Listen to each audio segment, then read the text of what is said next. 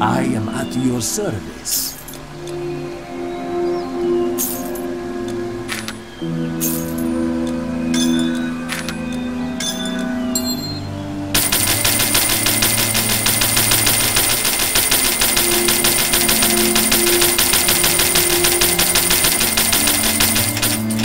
I am here to serve.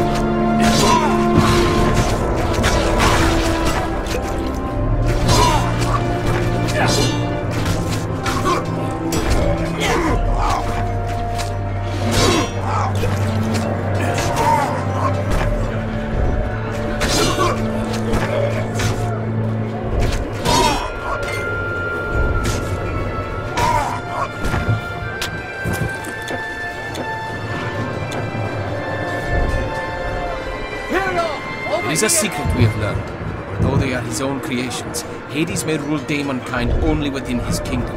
The moment a daemon would set foot upon the living lands, its own wild heart would be its only ruler. Knowing this, crafty Hades fashioned five crystals, the shards of Erebus, to project the force of his godly powers above, where they were never meant to be. If you were to destroy these shards, his countless legions would be like arrows with a broken bow. When Hades conceived of his plan, he imbued three of his most powerful Machae with some of his own powers. What we fear is that even were Hades defeated, these generals would have power and will enough to take charge of the armies and lead in the place of their lord. Well met, hero. My squad has made it to the outer gates, and we have arranged a way to uh, make a door. We have waited only for your arrival. Behold!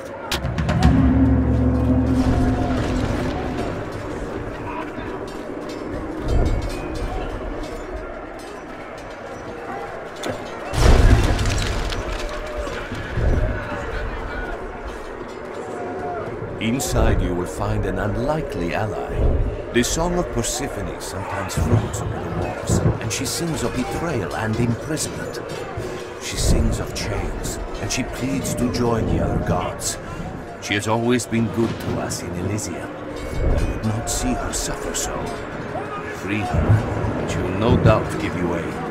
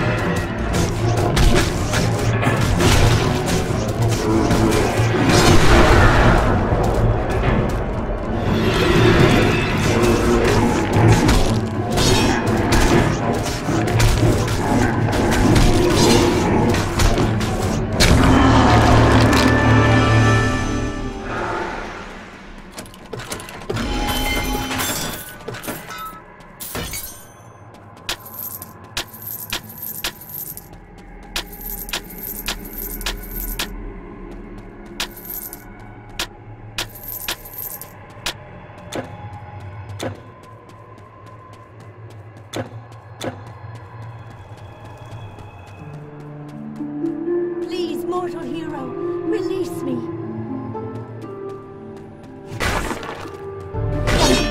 Bless you, warrior. You are a hero indeed. When Zeus commanded the gods to depart, I thought I was finally free of this place. I tried to convince him to join his brethren, but dreams of conquest clouded his mind. Finally, I sought to leave without him.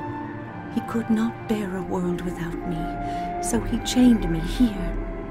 He still thinks that I will see his triumph and join him. This I will never do. Persephone, the breath of spring brings new life, not war, and I am powerless against him. It is you who must defeat him. Let his hubris be his downfall. Enter his palace, stand before him, and release us from this madness.